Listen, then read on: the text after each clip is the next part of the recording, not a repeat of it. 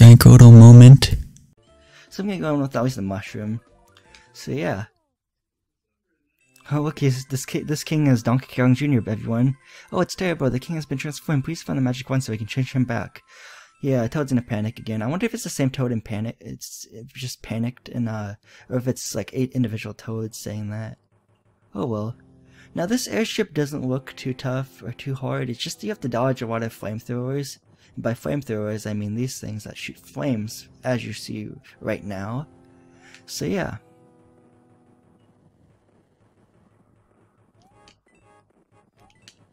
Okay, so I can get that coin actually. Yeah, there we go. Now I'm not gonna get those coins down there because I'd rather be on the high road right here. So yeah, and I said in the um, during the World 3 airship that you want to learn how to like ride on these things because they'll help you dodge things and help you. Like it's a platform in some other airships in the future, so keep that in mind. But like it, it's easier to do this than dodge the flames. Well, maybe equally difficulty, but you want to actually be on the high road for the power up that's coming up. So that's pretty cool. Yeah. Okay. Got a duck right here. Practicing my ducking skills.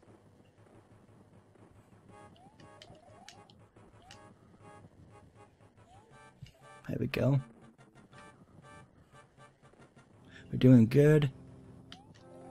We're doing well, I should say. yeah. I should have gone the high road there, but that's okay.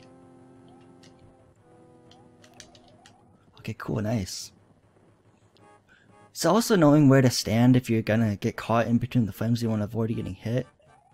So, let's see if I can just... see if we jump up there. Nope, I can't. Dang it. Oh well.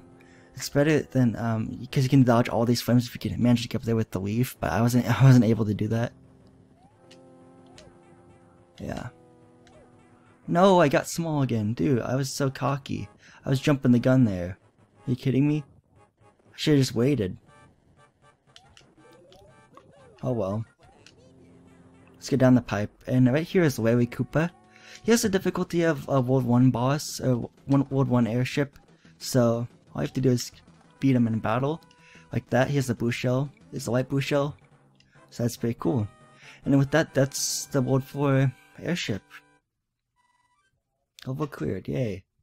We get kicked out of it as usual, and guess what? We fall from the sky again. This is just so...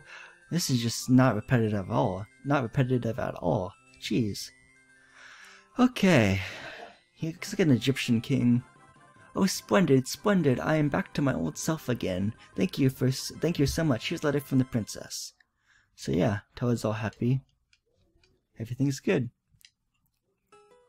Greetings, the thief who stole the whistle has escaped the east side of the sand dunes. I enclosed the jewel that helps protect you, Princess Toadstool. And the they talk about the fire bros that uh you had to use a hammer to smash that rock to get to them. And we also had like a air, the mushroom house where we got like a frog suit, I think, back in World Two. So that's what they're talking. That's who they're talking about. But we got the whistle back because we beat them. She gives us a P-wing. You want to keep it, you know? Obviously. World Four, perfect clear. Okay, so we're done with World Four now. Nice. So saving. And here's World 5. Nice.